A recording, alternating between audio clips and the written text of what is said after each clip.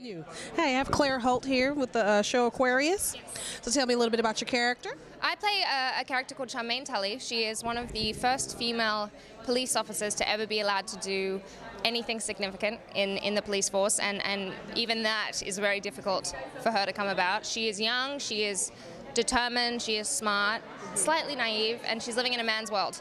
And so it's. Uh, it's a really interesting and inspiring character for me to play. Yeah, and how was it preparing for that for you? Well, I didn't know a lot about the 1960s. I wasn't born yet, so I had to do a lot of research, and, and I'm, I'm loosely based off of a real person. Okay.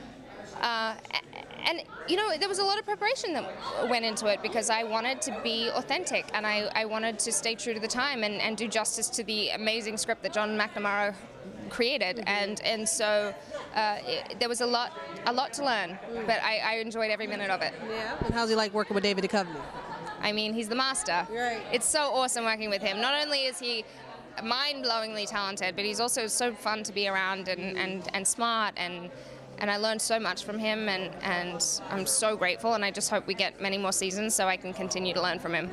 I am here with Gethin and Emma from Aquarius. Come closer, come a little closer.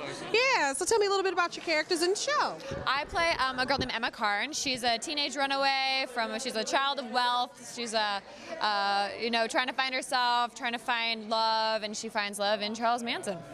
Alrighty. And I play Charles Manson. Uh, and, uh, you know, my character is based on the real man, uh, and our stories are, are, based on historical events, things that actually happened, but it's within the context of a fictional show, which has given us a little bit more freedom to explore the, the character dynamics of what was going on in their world in that time, which is an exciting period of history to look at. Yeah. I know you had to probably do a lot of research on that. That's right. Yeah, I really, I really did. And, Imagine. And and you know what? Some of it was fun. Uh, the music of the era.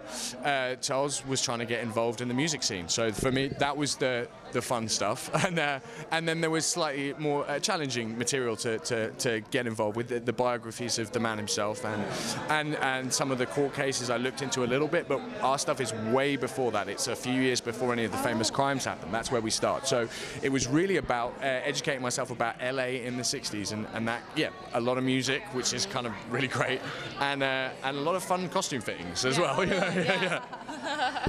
and then what is it like working with David Duchovny? Phenomenal. David's great. He's so kind and so talented, and obviously it's great to have to have that that stable stasis of just strong and and and you know, it makes us really comfortable. He's, he's a reassuring a reassuring presence to have on set. I mean, he's such a, a, an icon and a, a talent, and a, and I'm a huge fan of his. So it was great. What do you think of him returning to X Files? Ooh, I can't wait to see it. That's all. That is, it's truly, truly exciting, and I'm right. fascinated about where that goes. Yeah, yeah, yeah. Well, congratulations and nice to meet you. Thank you. Thank you. It's like working with David Duchovny. It's terrific. Yeah, he's uh, he's he's awesome. He's one of a kind guy, and uh, he's bright and knows his knows his stuff and you kind of just every day you know you're gonna learn something new from him you know was it hard preparing for your role or yeah it, it was, I wouldn't say it was hard it was it was challenging um, it was uh, it was a lot of research I'm still researching even after the show's done um, uh, which I don't mind because it's a very interesting you know period in life so, uh, in America or all over the world really yeah yeah when is it coming on uh, May 28th, uh, 8, 9 Central, I think. Yeah. All right, well, cool. Thank you. We look forward to seeing it. Thank you.